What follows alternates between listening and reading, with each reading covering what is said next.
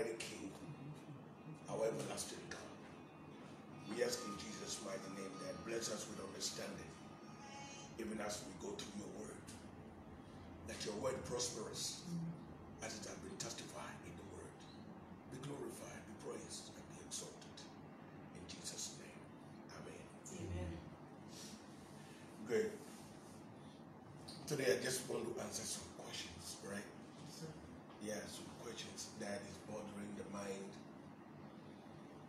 many people because what is going on right now, if you don't understand the last days of the scripture, you will not understand what is happening.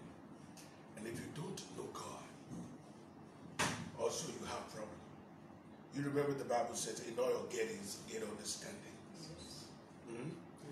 So we, we, we need to understand God. If we don't understand God, we will not understand times and seasons, or will not even understand what is going on. First of all, I want to answer this first question. Um, many people are saying that what is happening, the Antichrist has come. And the Antichrist has started operating because they believe that the virus is man-made. And because of that, the Antichrist is working against believers and unbelievers. Let me say the word. But I want to help you with this scripture. Let's go to Thessalonians. Thessalonians. I want to help you. Thessalonians chapter number one.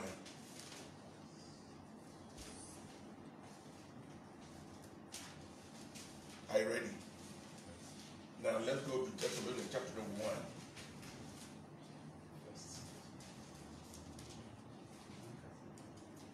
Second Thessalonians, sorry. Second Thessalonians. I'll read, I'm going to two, chapter two. Now, we beseech you, brethren, by the coming of our Lord Jesus, and by our gathering together unto him, that ye be not soon shaken in mind, or be troubled, neither by spirit, nor by word, nor by letter, as from us, as that that day of Christ is at hand. Let no man deceive you by any means, for that day shall not come, except there come a falling away first, and the man of sin be revealed, the son of perdition, who opposes and exalted himself above all that is called God, or that is worship. So he, as God, seated in the temple of God, showing himself that he is God. Amen. Amen. Now I want to jump to verse 7. For the mystery of iniquity, iniquity, doeth already work. Amen. Amen. Only who or who now later will later. Amen. Until he be taken out of the way. And then shall the wicked be revealed, whom the Lord shall consume with the spirit of his mouth, and shall destroy with the brightness of his coming. Amen. Amen. Now, let me explain something important here to you. Now, Paul was addressing the church of Thessalonians. They were confused about the coming of the Lord so many, many, many, many years ago. They were confused about the coming of the Lord. And because, you know, all the time we believers say that he's coming soon, he's coming soon, he's coming soon. Now, because we say he's coming soon, so many people are confused. They don't know how soon he is coming. And uh, Peter explained something important to us and helped us to understand something. Peter. Now, Peter said, thousand years is one day before the Lord. Thousand years is one day before the Lord.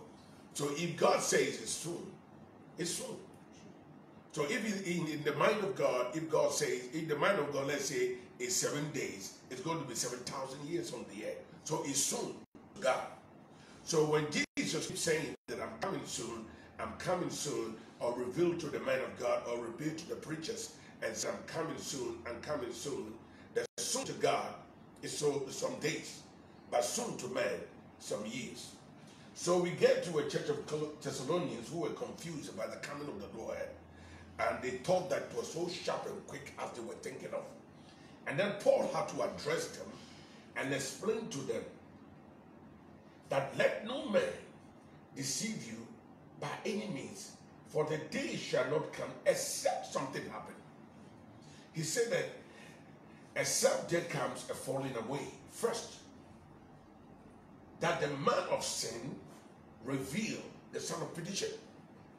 So, in other words, there's except there comes fall away, falling away. Then the son of perdition will come. Now, the perdition is the manifestation of the fullness of the devil taking control over the air. That's what we call Antichrist. So it means that he would not come until something happened. And after that happens, then he could come. Now, what are we talking about here? A time is coming, and the signs prove that it's so soon that each and every believer need to get ready. How do you get ready? You get ready by changing your mind and walking in the righteousness of God and putting into action what you learn from the churches and from the Word of God. Put it into action. Because God says that I'm coming to check a church without blemish nor spot. You see that? So now what is happening here is that God is going to do something. It says that this except there comes a falling away. It means that the Lord will come and take his people. And that work is going to be done by the Holy Spirit. And take his people out of the world of sin before the son of perdition can come. And we have not been taken out of this world. We are still here. But there's one thing that I keep encouraging believers that as long as we are here, we should remember who, who we are and how God manifested his light in us. So as long as we are here, we are the light of this world. And as long as we are here, we are the light, and the light, the duty of a light is to displace darkness. That is why we believers are supposed to be so strong and powerful, said that in this time like this, we should understand what the word of God says, and we need not to be panicked. But we should stand in the power of his glory and be a light unto the darkness. And tell the people who don't know Jesus and tell them what is happening. Some will believe and some will not believe. Because the mind of the world is set on so many things that they don't even recognize that there is God. And they don't, so many, many people don't even believe that there is God. Now, God also want to prove to the world that he made it. Do you understand? I'll show you something in the Bible. He want to prove to the world that he made it. And still, he's in control. And the world belongs to him. So what we need to understand here that those who are saying that the Antichrist has come and Antichrist, no, no, no, no. No, no, Antichrist has not come. Do you understand what I'm saying? But we have the manifestations of Antichrist on this earth. But the Bible says, unless we are taken out of this world. But since we are here, oh my God, the devil cannot have control over this world. And that is why I charge believers to know who they are and keep praying and talking to God in times like this. As a light, you're supposed to shine. Let me show you something about light. Now, if you want to get a light in your home, you plug the light to something. Do you understand? To an energy that supplies the light. Now, when you read the Bible carefully, Jesus made a wonderful statement. The Bible says that during the creation, during the creation, the Bible says God made a lesser light and made a bigger light, and the bigger light is the same.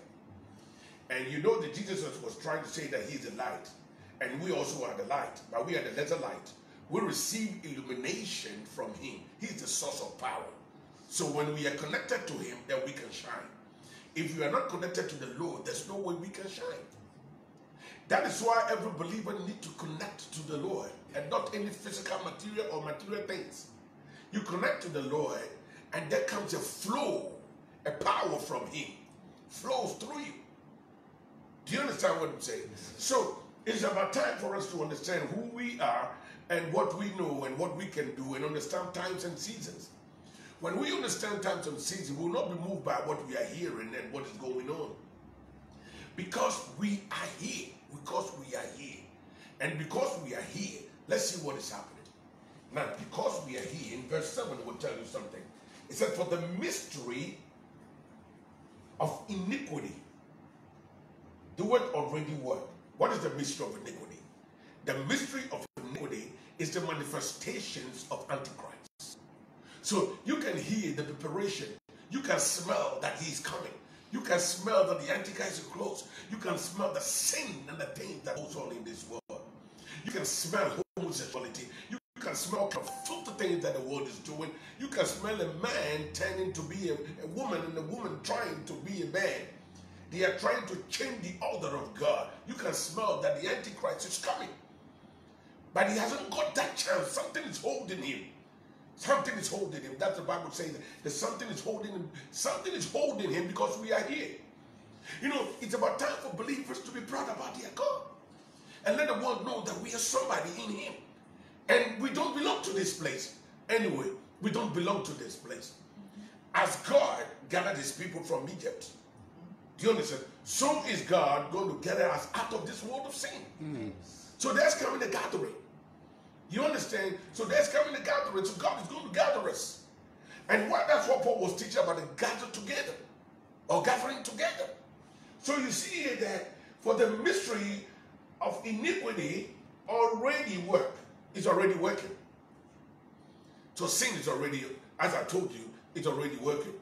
And people don't believe God. And I saw one video that it is on the bus and UK that there is no God. If there's no God, he will prove to you that there is God. Did you understand? And all those who say there is no God, God is going to prove to them that there is God. I know what I'm talking about. You see, a believer needs to draw close to God and understand the ways of God. A believer needs to draw close to God and understand the ways of God. And when a believer draw close to God and understand the ways of God, that believer walk in purity and in the power of God's mind. Are you understanding what I'm saying? Are you understanding what I'm saying? So here, look at something here. He said that the mystery of iniquity do it already work. Only he who that leader will later until he be taken out of the way. So it means that there is a restrainer. Do you understand? Now look at me and listen carefully. There is a restrainer who is holding on the works of evil because we are here. I think you understand what I'm saying. Now there is a restrainer who is holding on the works of evil because we are here. And until he's taken up, there is no way the devil can have full control over this world. So every plan of the devil will become nothing. Every work that he plans to do will be nothing because God has some people here. And since God has some children here, God is not that cheap God.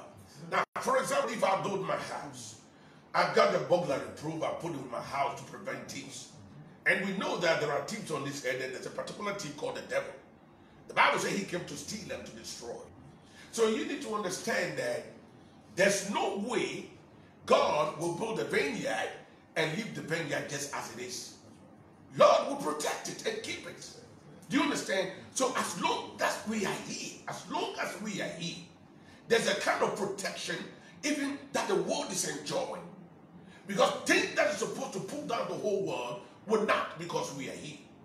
And we should understand the order of the world. And nobody should deceive you and nobody should panic. The order of the world is that after we are taken out of this world of sin, then the son of perdition will come and rule. That's what we call the Antichrist. He will come and rule. And the Bible says, then God, Jesus Christ, will come and arrest him, destroy him, and put him in that order. Do you understand what I'm saying? Do you understand what I'm saying? So it means that it means that there is an order, and nobody need to be afraid that the world is coming to an end now. We need to go. We need to go. We need to get out of this place. This place is not a home. And you saw Israel, they left Egypt. God had a promise for them. He had a land for them. Jesus said, There are many mansions in my father's house, and I promise you, I'm going and coming back to take you to where I am, so you're going to be there also.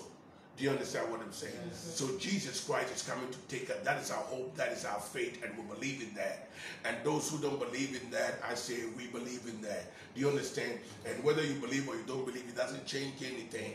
But if you don't believe, look at what is happening to this world. You have to prompt you that our Jesus promised that they're going to be pestilence in the last day, and that is what we are seeing today. Now look at this, and said that, and after we are taken, and then shall the wicked be revealed in verse 8. He said then shall the wicked be revealed, whom the Lord shall consume with the spirit of his mouth, and shall destroy with the brightness of his coming. Amen. Amen. It said, verse 9, even him who is coming after the working of Satan with all power and sign and lying wonders. Are you understanding what I'm saying? Yes and lying wonders. Look at what's going to happen after we left.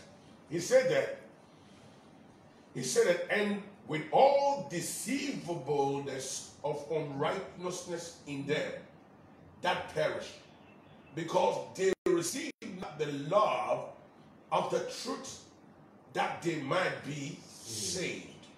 You see that? Now, that is what we are doing now.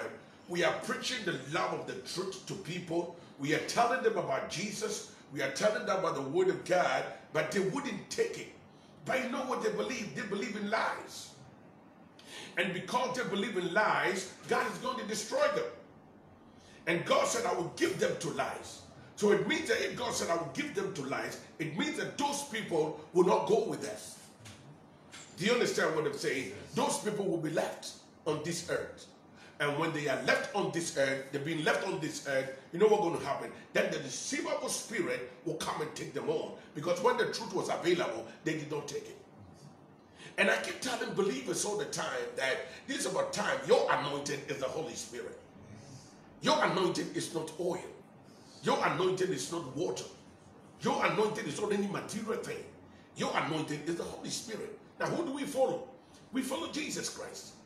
And as we follow Jesus Christ, his anointing is supposed to come upon us. Do you understand what I'm saying? And the Bible says how Jesus was anointed with the Holy Spirit, going about doing good and healing all manner of sicknesses. So, in other words, it means that the anointing of Jesus is supposed to come upon us because we are the follower of Jesus. And the Bible says his anointing has affected us. So, what kind of anointing are we talking about here? It's the anointing of the Spirit of God. It comes to stay in you, is poured on you, God for you, God with you, and God stands for you. That is the anointing is God. But we are not connected to the anointing. That is the power. That's why we cannot shine. The illumination comes from the Holy Spirit. And then the light is not connected to it. Now, there's another way to light. We need oil. Now, if the oil is not in the light, or uh, it can be any type of oil that brings fire or bring light. Now, if that oil is not in the light, it cannot manifest. The light cannot manifest. So the oil in the light is the presence of the Holy Spirit in your life to keep you going, to make you so strong. The Holy Spirit speak, oil can't speak. Water can't speak. The Holy Spirit protect, oil can't protect. Oil can speak. You see that? The Holy Spirit direct and conform and teaches about God, teaches. The reason why the church of God today is so dull and dumb is that they don't uh, receive the Holy Spirit to direct them, to teach them. They receive material things like water, like oil. And that is why we are falling apart.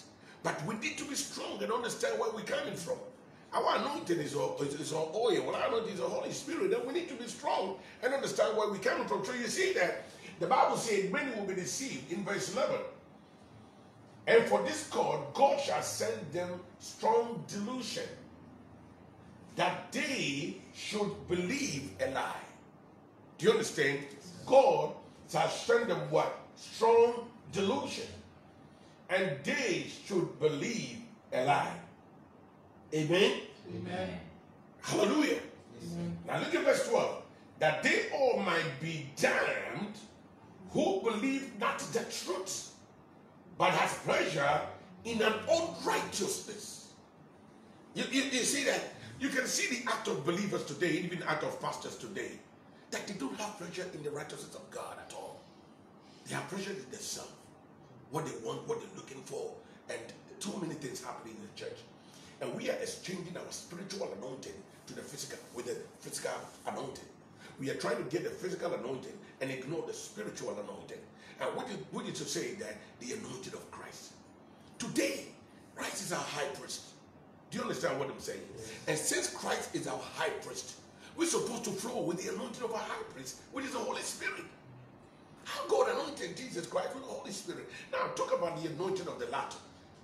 I, I, love, I don't anointing of the past. We saw that when Moses came down, God gave him uh, specifications to build, uh, to prepare uh, uh, holy anointing oil. You understand? When I get time one day, I'll talk about it. Now, this holy anointing oil that Moses prepared, God told him that this is throughout your generation. Do you understand? And he said it in the middle of Joel. He said it, but in the last day, I'll pour out my spirit. In other words, in the last day, the anointing will change. It's not going to be that which was poured on Solomon, that which was poured on David, that which was poured on the prophets, that which was poured on Saul. No. It's going to be different. He said, now my spirit will come upon you. And that is what I'm going to pour my spirit in the last day. We are in the last days. So we need to enjoy the outpour of the Spirit which was brought by Jesus Christ. And Peter confirmed it that this is the time, this is the hour when they started speaking in tongues and the Spirit of God, the Spirit of God came upon them. Peter confirmed it. So this is the hour, this is the time of the Spirit. And the Holy Ghost came upon them. They received the spirit of boldness and began to preach the word of God with a different dimension of power. And men without understanding understood God because of the presence of the Holy Spirit. Now, all these things is taken away from the church. And the church is no longer depending on the anointing of the Holy Spirit, but depending on the anointing of a physical thing or material things, which were prepared by some people who were sometimes not even unbelievers. And we depend on it. How would it that? We'll fall. Our light is cut off. Our source is cut off. And that's the main reason why Christians are afraid in this time. This is not a time for a believer to be afraid. But this is a time for you to rejoice that your God is coming soon. And keep praying and pray for the weak ones and minister to the weak ones. And even those who don't know God, you tell them of the loving kindness of God. So therefore they can join us. The boat is ready. Like in the days of Noah, the boat is ready. How many of our family members we are taking in? How many of our friends that we are taking in? We need to start announcing that the boat is ready and they should get ready to the boat. That's what we need to do. So this answers those, this answers those who think that um, um, the Antichrist has come. Hey, tell somebody, since I'm here, he can come. Mm -mm. Unless I've been taken away. And I repeat this statement in verse 7. I repeat it, for the mystery of iniquity do it already work. Only he who now later will later until he be taken out of the way. So when the Holy Spirit is taken out of the way, and he will not go and leave us. You know why he will not go and leave us? Jesus said, I will not leave you comfortless. I'll give you another comforter, and the comforter will be with you forever. So if the comforter is leaving out of this world, he had to go with us. Yes, so when he's taken away, he will go with us. And nobody will restrain the devil. Nobody will push the devil again. And nobody will tell the devil, hey, stop. No, nobody's going to tell the devil, stop. Now the devil will have full control over the whole world and take it to himself. And that's what the Bible says, the son of wickedness. That one is our back case. But let's pray that our boat is so big so we can get a lot of people or save a lot of people. Save your family, save other people, tell somebody about Jesus. Because this is the time. We need to know. Now I want to ask answer another question. I want to answer another question. Now, some people are saying that this is a man-made something. Amen. Amen. Now, some people are saying that this is man-made. Now, even if it is man-made, let's put it this way. I'm saying that the world belongs to God, and God will not allow anything go on on this world without His consent. Hey, hey, hey, listen to me. You can't come to my house and mess up without my knowledge. So you should know that the earth belongs to God, and the devil cannot do anything good nor bad. unless God permit it. It- it- we, have, we have the record of God permitting the devil many, many, many, many times in the Bible. And at any time he permit the devil is for a reason. He permitted the devil in Job's life. Do you understand? And he permitted the devil in Peter's life. When Jesus said, The devil has asked for you, but I've prayed for you that after you come out of it, you can strengthen those who go through it. But I wanted to show you something in the book of uh, Isaiah. I want to show you something in Isaiah.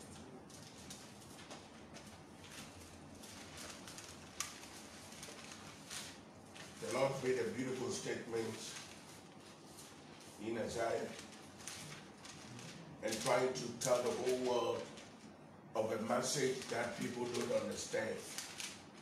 It's a, it's a mysterious Isaiah chapter 10. Isaiah chapter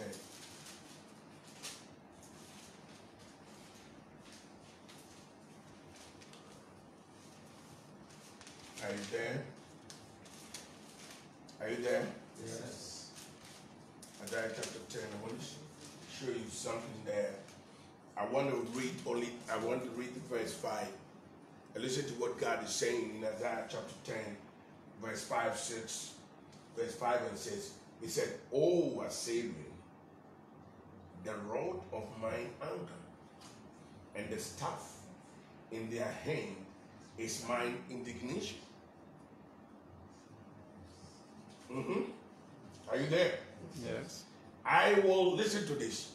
I will send the Assyrian to him or send him against an hypocritical nation and against the people of my wrath will I give him a charge to take the spoil and to take the prey and to strike them down like the men of the streets. You see that? Yes. He said, Oh, Assyrian, the rod of my anger. Now, you study about Assyria, the difference between Assyria. Assyria is the city. But God started using the Assyrian. It's a figurative speech. Do you understand? It's representing something that I want you to know. Now, you see that uh, Israel went to Egypt. And in Egypt, there, were, there, there- was no Assyrian there. In Egypt, it was between Pharaoh and then the Israelites. Then, after God defeated the powers of Egypt and brought his people out, then the prophet said that, My people, said the Lord, went to Egypt to sojourn there, but the Assyrian oppressed them without a cause. The Assyrian oppressed them without a cause. So, who is the Assyrian here? Do you understand? Now, I want you to know that Assyrian is a man in authority, a man in control, a man who is having power over a position or a place. That is Assyrian. And God said, Assyrian is a rod of my chastity. And the staff in his hand is talking about two things. The staff in the hand of the Assyrian is my indignation. Now, watch it. He said that I will send him against an hypocritical nation and against the people of my wrath. It means that when God go crazy about people who will not worship him, who will not respect him, who will not regard him, he will use your own people to discipline you. That's what he called Assyrian, the work of an Assyrian. Now, it was Pharaoh that dealt with Israel. But why did the prophet say that the Assyrian oppressed God's people without a cause? The symbolic name that uses a man in authority who are oppressors already. Now, I want you to know something. Verse 7. It said, Howbeit he meaneth not so, neither doeth his heart think so, but in his heart to, to destroy and cut off nation, not a few, many. So it means that the Assyrian itself has an evil in his heart to do evil. But he will not do it unless he give him the opportunity to do it, and that will be done against nations that are stubborn. That will not take the word of God, and that will not act upon his word. Now, so now I cannot say this boldly that when people are saying that it's man-made, as some people are saying that uh, Bill Gates and then some men in authority, they are serious. They are serious. And those Assyrians cannot work, cannot take over God's world without God's consent. Assyrian is acting, God said, I will send the Assyrian. So when the Assyrian is acting, what is in his heart? God can stop it and God can allow it. Depending on the nature of the people in that country, in that nation, in that city, and in the world. Now the whole world is in his hand. And then he sees destruction and people living wayward life and doing not kind of filthy nakedness in the street without shame. Mocking and speaking against God. And even calling Jesus a homosexual. Do you think you go scot-free? No, those who think they will go scot-free, they are wasting their time because they don't understand God. They don't know. They don't know who God is. Because the first time I heard people calling Jesus homosexual, and then they said one thing again. They, they, they said that he, is gay. And when I heard that, I wept and I cried to God. I said, God, wouldn't you do anything? Wouldn't you do anything? Because sometimes we need to let the people know that there is God. Because he said, I'll draw a demarcation line between my children and the children of this world, and believers need not to be afraid. No. It's only the dead of a fool that God loses. But the death of a righteous, God doesn't lose anything. Because absence in the body, presence with God. But I tell you the truth, God will not destroy the wicked together with the righteous. He will not do that. Sometimes we look at somebody, we see how so outward, we think that the person is all ready, but we don't know what he does in the secret. That's why we need to be so, so strong and be careful in our life and in our way of living as Christians. So let's say this, this is man made. Let's say China made it. Let's say uh, G5 or whatever we call it, or 5G. Do you understand what I'm saying? Let's say that. Now, they can be placed in the position of an Assyrian. They are men in authority. They are men who have an authority on the air. And they can oppress you. Do you understand what I'm saying? And God will keep quiet. Because God said that there's already that evil in the mind of such people. But they cannot do it unless God pushes them or allows them to do it. Now I'll show you something in the Bible. I'll show you something in Jeremiah. Let's go to Jeremiah. That I'm going to end here. Let's go to Jeremiah. I'll show you something in Jeremiah. I'll show you something in Jeremiah. I'll show you something in Jeremiah. Are you there with me? Yes, sir. Now let's read Jeremiah chapter number 9. Chapter number 9. And I'm reading, I'm just, I want to cut off time. I want to save time. So I want to read from 21. Verse 21 downwards. For death is come upon, sorry, for death is come up into our windows, right?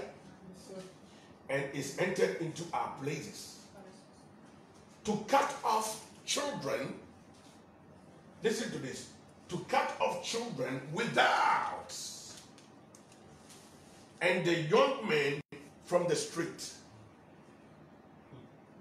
You you get it? You get it? Yes. Death is coming to cut off children without and men from the street. Now, many streets are empty now. And what, what is the cause? The death that is causing that one.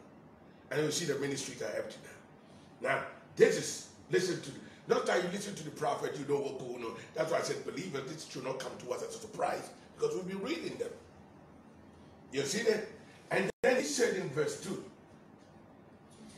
the conclusion of the verse, uh, sorry, in the conclusion of verse 21, he said that, and the young man is cut off from the street. They, don't- they don't go to street again. Mhm. Sir. Now, and he said this one, speak, thou saith the Lord.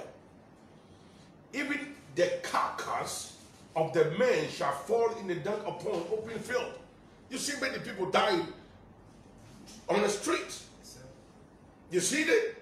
It's just they will die in an open field. And their carcass will be seen by everybody. But watch this. He said that even the carcass of men shall fall in the dung upon the open field, and the handful after the harvestman, and none shall gather them. Listen to this word, and none shall gather them. It means that they would not get a befitting burial.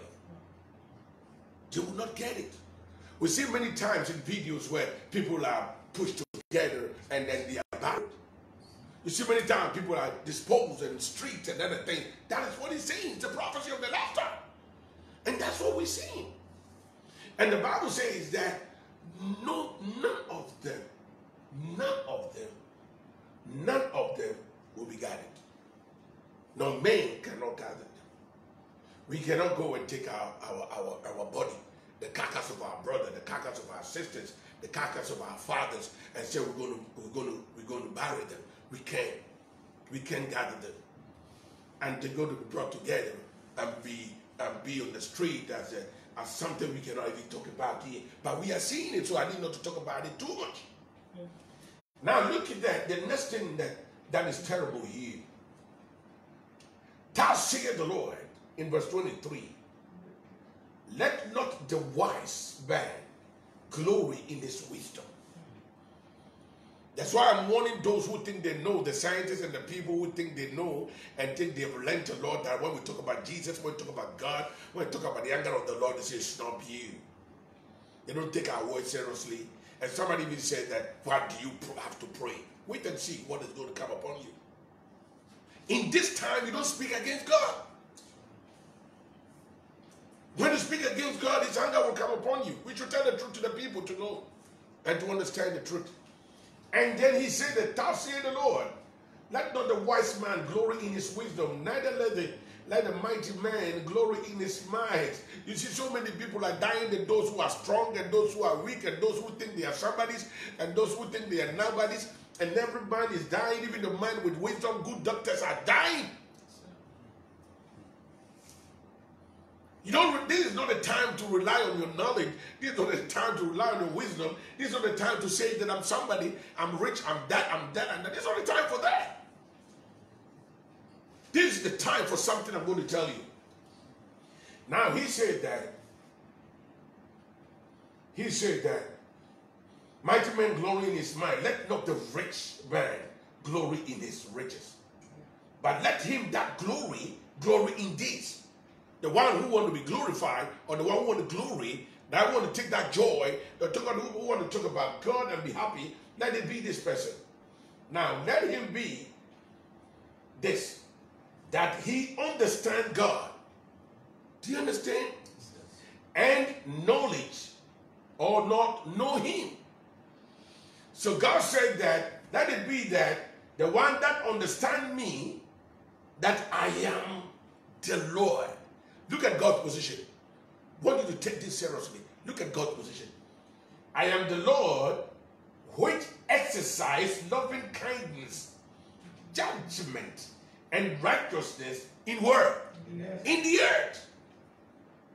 So nobody should tell me that oh, anybody at all can have that right to kill the whole world. The whole world is under his authority. It's not that cheap God who allowed this thing to happen. But our wickedness and our sins. That's why he allowed those things to happen. So he said, I bring down judgment on the earth, and I want everybody to know. And the one who's supposed to glory should know that this is what I do. I am God. You see, I've been telling believers that God wants recognition. God wanted recognition. You know what he did in Egypt? I love that one so much. He, when he went to Egypt, when God went to Egypt, he said, I want to demonstrate my powers to Egyptians for them to know that I'm God. And to the Israelites, he said, I want you to know that I'm God Almighty. Do you understand? The God of your fathers, I come to take you. So if that power is behind you, who can be against you? And then, then he turned against Egypt and demonstrated his power, and Egypt got to know that he is God. Now, there's one amazing thing that's beautiful here. When God was bringing his people out, I want those who don't believe now to get ready for this one.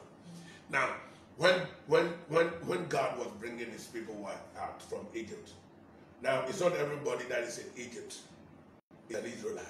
I'm talking about spiritual things.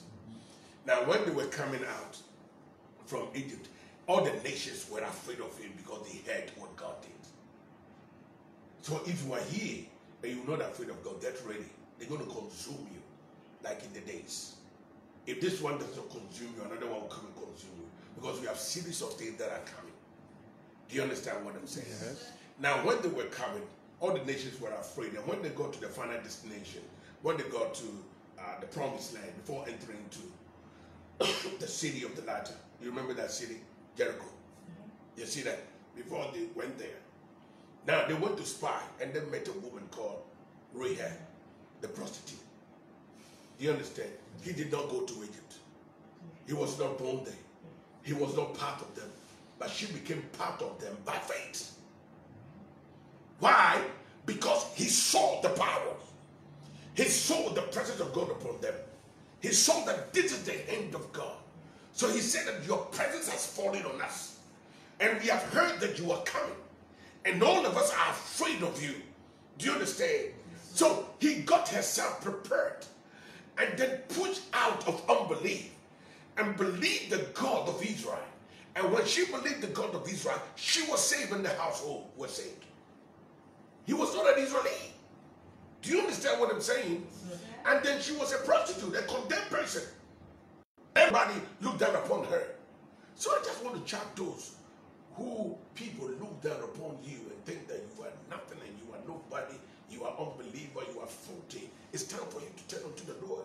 Though you are not part of the church, but you can be part of the church when you are ready.